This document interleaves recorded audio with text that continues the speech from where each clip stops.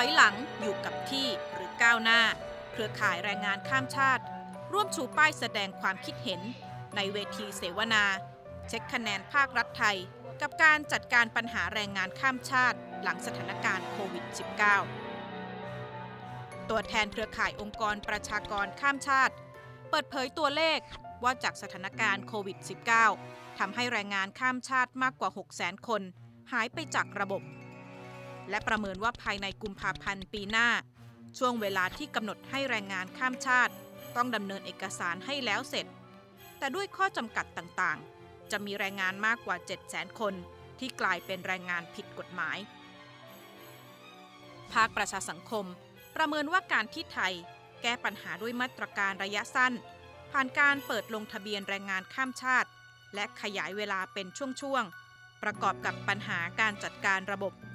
สี่ยงต่อการเปิดช่องว่างแสวงหาประโยชน์ให้กับกลุ่มต่างๆ พร้อมสะท้อนข้อเสนอแนวทางแก้ปัญหา คือผมคิดว่าหลักๆในในในเชิงของการที่ต้องแก้ปัญหาคือหนึ่งพยายามดึงคนเข้าสู่ระบบ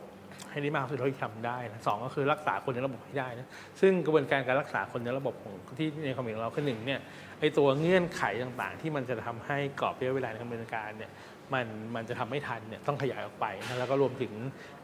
ดูแรงงานบางกลุ่มที่อาจจะหลุดในอนาคตเนี่ยให้สามารถกลับเข้าสู่ระบบให้ได้นะอีกอันหนึ่งก็คือเรื่องของตัวระบบการจัดการที่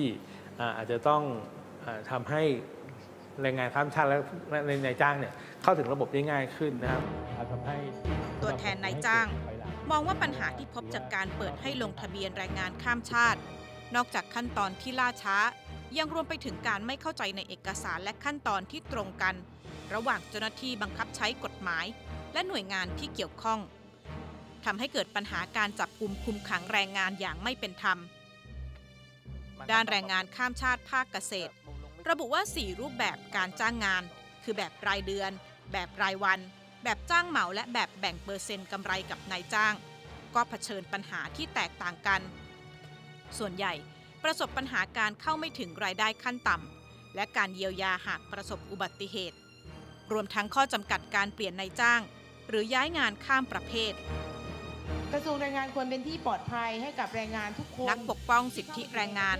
สะท้อนว่าการไม่สามารถตั้งสหภาพแรงงานข้ามชาติ ส่งผลต่อการเรียกร้องสิทธิ โดยเฉพาะการดูแลความปลอดภัยในการทำงาน เรื่องกฎหมายความปลอดภัย มันมีความสำคัญมากนะ ซึ่งกระทรวงแรงงานก็ไม่ทำเอางี้ดีกว่า คือมันน่าโมโหนะ อันที่สองเรื่องสิทธิประกันสังคมที่มันจะพูดถึงการเลือกตั้ง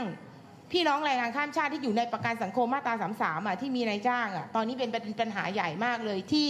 ประกันสังคมมันจะมีการเลือกตั้งบอร์ดประกันสังคมที่จะพูดเรื่องสิทธิประโยชน์ต่างๆ พูดถึงสิทธิพี่น้องแรงงานข้ามชาติที่อยู่ในประกันสังคมด้วยเนี่ยตอนนี้